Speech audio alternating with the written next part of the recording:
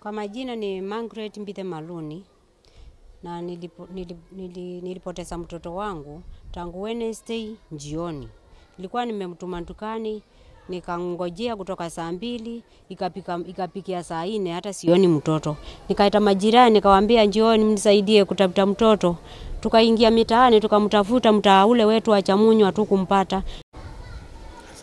Kwa majina ni Margaret Mbithe Maluni na nilipo, nilip, nili, nilipoteza mtoto wangu tangu Wednesday jioni. Nilikuwa nimemtuma dukani nikangojea kutoka saa mbili ikapika, ikapikia saa nne hata sioni mtoto. Nikaita majirani nikawaambia njioni mnisaidie kutafuta mtoto. Tukaingia mitaani tukamtafuta mtaa ule wetu wa Chamunyu hatukumpata. Tukaja tena huku mtaa wa Mamlaya hatukumpata. Tukaenda Mikanjuni hatukumpata mpaka ikapikia saa sita. Tukarudi tena kwa nyumba tukarudi tena tukakaakaa, tukaingia tena mitaani tukatafuta tena, hatukumpata mpaka saa nane.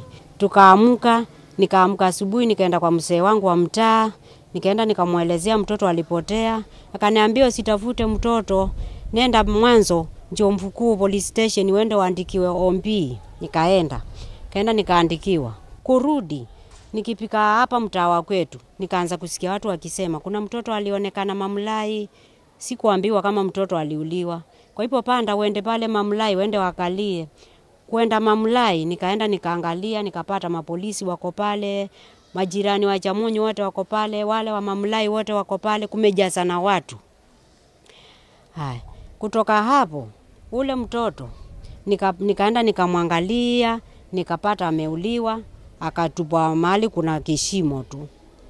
Haya, wakiulizana mtoto ni wa nani, nikasema mtoto ni wangu. Kutoka hapo mapolisi wakaanza kuchukua hatua ya kutafuta wale wali waliomuua wali wakatafuta wakatafuta, wakaanza kushikwa tukiwa pale. Kutoka hapo ikasemekana ni mpaka tumpeleke Makandara.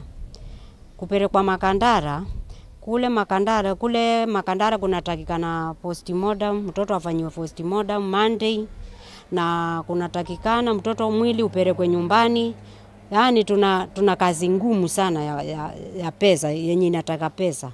Nilikuwa naomba msaada, serikali waingilie katikati, watafute wale vijana, manake ni wale vijana mabangi tu, watafutwe wapatikane na haki ya mtoto wangu ionekane.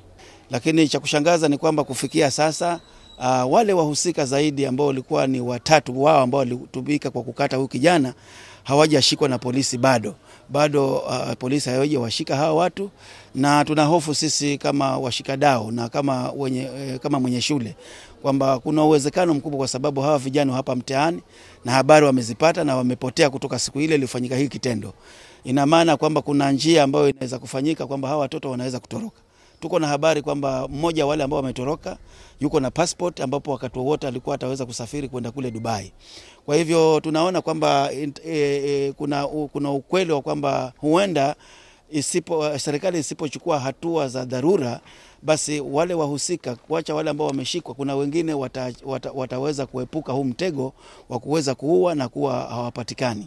Kwa hivyo tunaiuliza serikali kwamba itumie nguvu yake yote tulisema kwamba hiki kiwe ni kipanga cha kwanza cha kumkatakata huyu mtoto na kiwe ni kipanga cha mwisho, kusiwe na mtoto mwingine ambaye anaweza kudhurika ama kufa katika kifo cha aina hii. Vile vile tuna, kama tunavyojua mtoto huyu silikuwa tunamsaidia kwa sababu ilikuwa ni mtoto ambaye ni mwerevu. E, tulikuwa tunatazamia kwamba Kennedy atatuletea maksi mia tatu na hamsini na kuendelea, na tulikuwa tumeanza mikakati ya kumtafutia wafadhili ili aweze kusaidika. Uh, tunaiuliza serikali kwamba huu ni wakati ambapo lazima haki itendeke kwa Kennedy na vile vile mama pia aweze kuangaliwa kwa sababu ni mama ambaye ametoka katika zile sehemu za Makueni. Ameshtukia kwamba sasa ameingia gharama za kuweza kubeba mwili na gharama zote zingine ambazo zinahitajika.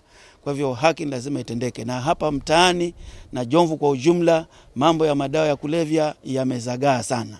E, bangi inapatikana kwa wingi na si jambo la siri, nafikiri vitengo vyote vinajua. Tunataka kusema kwamba wakati umefika, tunasema enough is enough.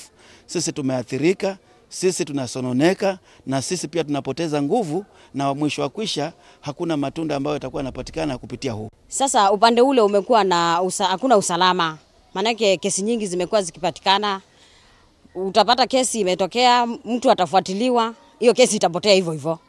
Kwa hivyo kumaanisha katika eneo ile iliyofanyika hiki kitendo cha kumuua mtoto, kesi zimetokea pale nyingi za upotevu wa nidhamu. Ukisikia ni bangi imepatikana ni huko, ukisikia ni uwaji ni huko, lakini ile uwaki haipatikani. Kile chenye tunataka ni haki ifanyike, haki ndio tunataka, na ule usalama, mtu afanye kazi yake vile anafaa kufanya kazi yake.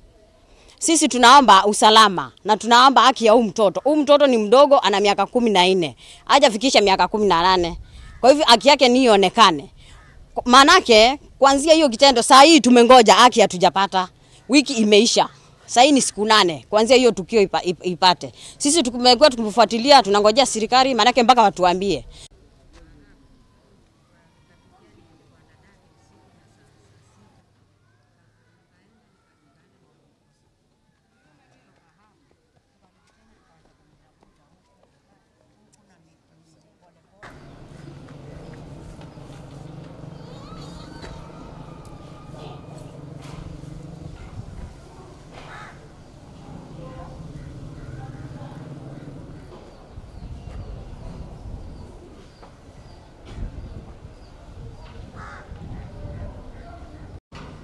Kwanza kuna matayarisho ya mazishi, kuhakikisha kwamba mwili ziko vizuri vizuri vizuri.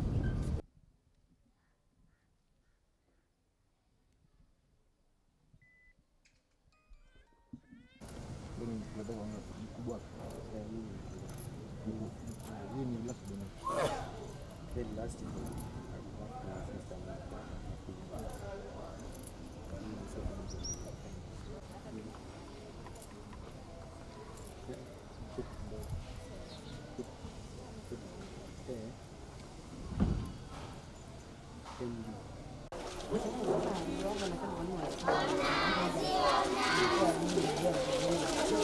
ya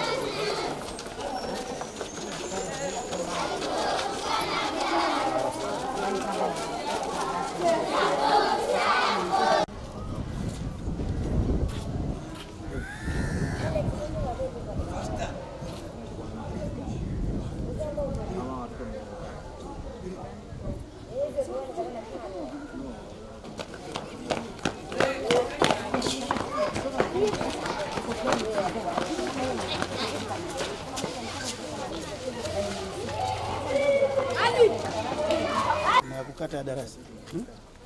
Ah, hmm? Watoto walikuwa break hapo.